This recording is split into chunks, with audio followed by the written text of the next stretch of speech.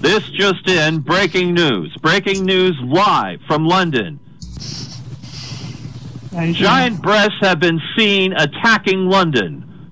According to the Huffington Post and several affiliates of BBC News, giant breasts have appeared in four different locations in the heart of East London. This one, Oh, we got loose. yeah, this one seen here appeared above Columbia Road's flower market. The giant breasts are reported to be in varying shape, size, and color, but all are massive, beyond human size, including most porn stars and Dolly Parton. Mm. The breasts have been reported to have been attacking helpless children with the sight of nakedness. Pearl clutching mothers everywhere in a state of panic that their children may catch a glimpse of a bare naked boob. Authorities are taking measures to capture the breast, but warn the general public to remain vigilant. Because if they capture one, it doesn't mean you're out of danger, as they're usually known to travel in pairs. Sure, oh my God. There are there are several theories as to where the giant breasts have come from. Some say it's part of a breastfeeding awareness campaign started here by Boler Elvie, the CEO of women's healthcare company Femtech. Campaign's goal is allegedly to destigmatize the act of breastfeeding in public.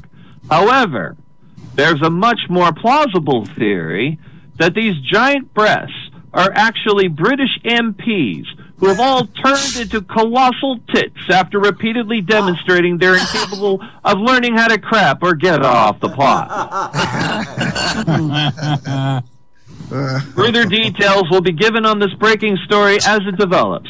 Or you could just go to Pornhub right now and see what giant dangerous boobs are up to on several live Look at that. webcams. Oh my god.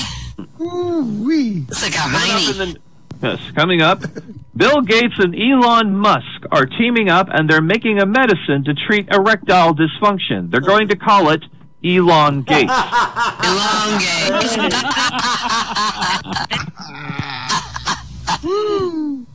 Right. A recent study showed that disabled children are far less likely to attend church services due to how they are treated while they're there. Because apparently just being in a wheelchair isn't bad enough. Some asshole has to come up to you and explain the reason why you're in a wheelchair is because you don't believe in Jesus hard enough. Well-known evangelical Reverend Jeremiah Blackpowder said he doesn't welcome disabled children into his church anymore. He said, we tried faith healing the little assholes and they just stubbornly sat in their chairs and did nothing. Oh my God. Zack Snyder, director of Batman vs. Superman, got into a fight in social media last week when he responded to critics who said they didn't like it when their heroes killed people. In short, Snyder said, Batman kills, Superman kills, get over it. Someone says to me, Batman killed a guy, I'm like, wake the fuck up. You know, it's language like that that may be why you suck at directing movies of beloved children's characters. Apparently, Snyder was dropped from the DC series after there was creative differences, as he wanted to portray Aquaman as a dealer of opioids. Flash was involved in human trafficking, and the rest of the entire Justice League was supposed to be addicted to snuff porn. Porn, oh my God. Oh, good grief. And finally, China has censored all the gain scenes from the movie Bohemian Rhapsody, leaving people who saw the movie to complain now the movie just doesn't make any sense at all because most of the scenes are missing.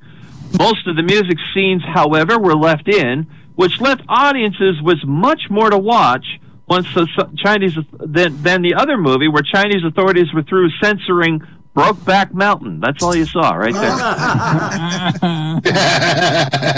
there. And that's the way you wish it wasn't. I'm Catboy Coon Hook. Yeah.